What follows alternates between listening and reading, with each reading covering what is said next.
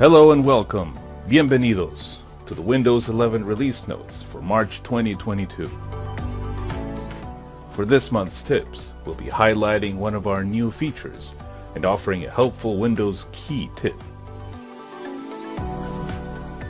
First, let's talk about this month's update. In addition to the new features, here are some of the issues that we resolved. You can now share cookies between Microsoft Edge Internet Explorer mode and Microsoft Edge. We updated an issue that affects dialog boxes in Microsoft Edge Internet Explorer mode. We updated an issue that causes Microsoft Edge Internet Explorer mode to stop working when you press the F1 key. We added the clock and date to the taskbars of other monitors when you connect other monitors to your device.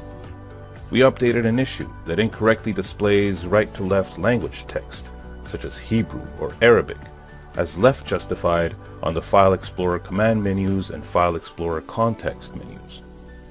We updated an issue that might cause the time zone list and settings to appear blank for users who are not administrators. We updated an issue that causes incorrect tooltips to appear in an empty area on the taskbar after you hover over other icons like battery, volume, or Wi-Fi.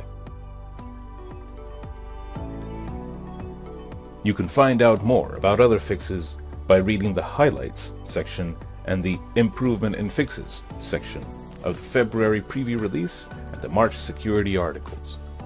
Now on to our tips.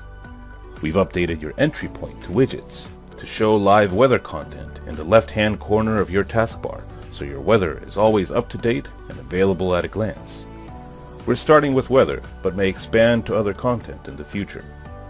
Hovering over the weather icon allows you to quickly check on something and get back to what you were doing. As long as your mouse is over the entry point, it will stay open and you can interact with the widgets as needed. If you move your mouse away, it will automatically close. Clicking on the entry point leaves widgets open until you take an action inside the panel that navigates you out, or you click somewhere outside the panel to dismiss it. Did you know that pressing Windows Control Shift B will restart your graphics driver?